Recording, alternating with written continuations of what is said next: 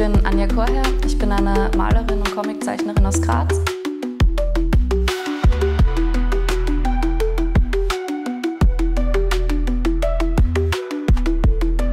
Und momentan arbeite ich in meinen Werken sehr großformatig und mit Kubismus.